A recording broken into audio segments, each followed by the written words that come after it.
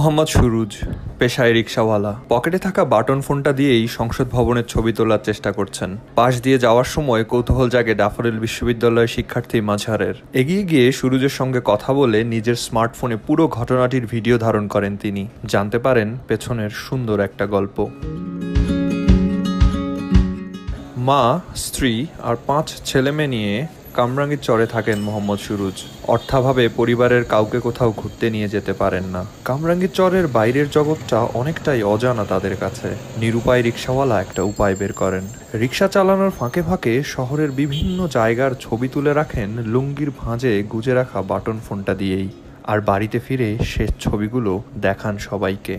সামনাসামনি দেখার সুযোগ না পেলেও মোবাইলের ছোট্ট স্ক্রিনটাই স্বপ্নিল মনে হয় ওদের কাছে। আমার মোবাইলটা আনি নাই মেমোরিটাও আনি নাই। নাহলে আপনারা দেখতে পাতেন অনেক ছবি ওই মোবাইল আর মেমোরিতে আছে। এই জায়গায় জায়গায় তুলতাম, দেখতাম, তুলতাম। আর বাচ্চারা জিজ্ঞেস যে এটা কোন জায়গায় এটা কোন জায়গায় কখন তখন নিয়ে ঘুরতে পারি না।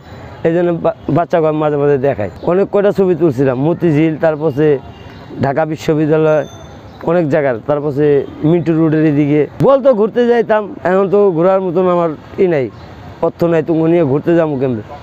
এখন তোমার নিয়ে ঘুরতে গেলে মনে করেন আরও খরচ বেশি, এই জন্য মনে করেন যে বাল বাচ্চা নিয়ে ঘোরা হয় না।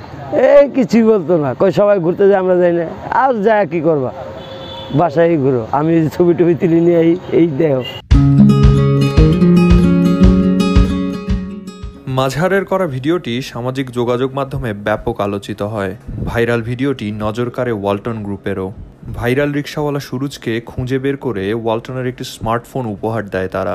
সঙ্গে ছিলেন মাঝহারও পুরো ঘটনাটা জানার পর আমাদের খুব আগ্রহ হয়। বাইনোকুলার টিমের সদস্যরা সিদ্ধান্ত নেই, মোহাম্মদ সুরুজের সঙ্গে আপনাদের পরিচয় করিয়ে দেব। রিক্সাওয়ালা সুরুজের জীবনটা কেমন তা আপনাদের জানাব। মামা সহকর্মী ছিল, উনি দোয়ায় আমার মনে অনেক কষ্টে, সফল করে আইনি ফেসবুকে ছেড়ে দিয়ে তারপরে আমি কোনো ঠিকানাও দেনি হারে। পরে আমার এক এলাকার বড় ভাই ভাগিনা হয়, উনি পরে আইনির সাথে সাক্ষাৎ করাইছে। তারপরে দিয়ে যে আমারে মামাই বলছিল, মামা, আপনার জন্য ওয়ালটন কোম্পানি গিফট রাখছে। আপনি একটা মোবাইল দিব।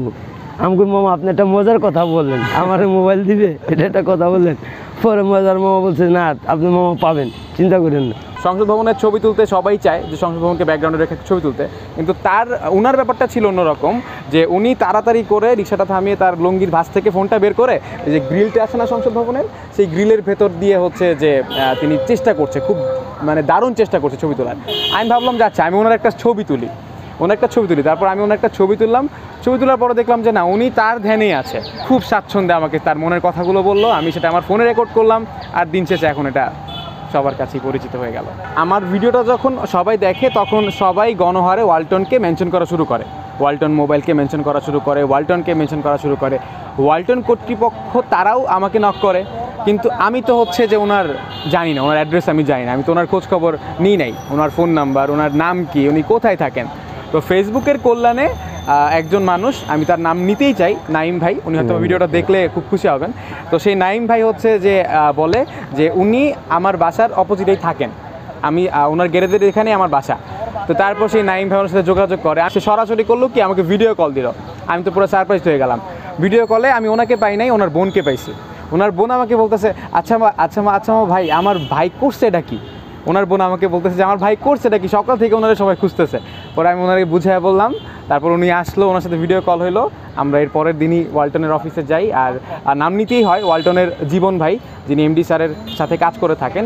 আর এই প্রক্রিয়াতে হেল্প করেছে আমাদের বিধান হালদার ভাই এবং জীবন ভাইয়ের পুরো কোঅর্ডিনেট করার ব্যাপারটা শিক্ষণীয় ছিল। আর ওয়ালটনের যে এমডি স্যার ছিলেন, গোলাম মোর্শেদ স্যার, ওনাকে দেখা মাত্রই, ওনার মতো মানুষকে দেখে মানে দেখা মাত্রই তিনি তার যে একজন গ্রাহক, ওয়ালটনের যে তিনি একজন গ্রাহক, তাকে যে রেসপেক্টটা করেছেন, তাকে যে সম্মানটা দিয়েছেন, যে উঠে দাঁড়িয়ে বলছেন যে আপনি আমাদের সম্মানিত গ্রাহক, আপনার জন্য আমাদের এই এই ব্যাপার।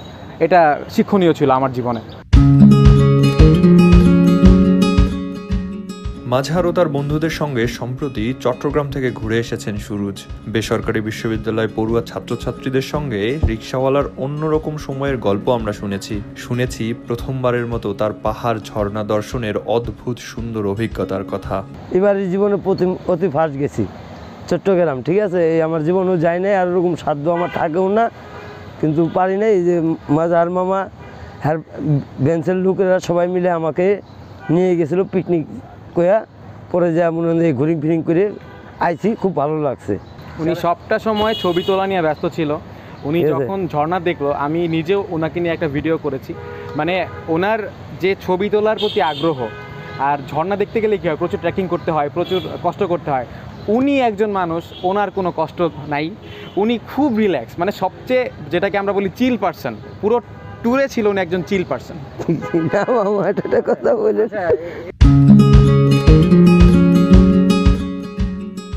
স্মার্টফোনের যুগে অনেকের কাছেই ফটোগ্রাফি শখ। তবে মোহাম্মদ সুরুজ শখের বসে ফটোগ্রাফি করেন না। শখ তার জন্য বিলাসিতা। আমাদের গল্পের রিক্সাওয়ালা জীবনের ছোট্ট একটা আবদার মেটাতেই ছবি তোলেন। তার কাছে সবকিছুর ঊর্ধ্বে পরিবার। প্রাতিষ্ঠানিক শিক্ষার সুযোগ না পাওয়ায় ব্যক্তির ইতিবাচক দিকটা তুলে ধরার চেষ্টা করেছি আমরা। ঘটনাটি হয়তো হইচই ফেলে দেওয়ার মতো নয়। তবে যে কোনো অবস্থান থেকে পরিবারের প্রতি ভালোবাসার দারুণ এক উদাহরণ সুখী ফটোগ্রাফার হিসেবে পরিচিতি পাওয়া মোহাম্মদ সুরুজ।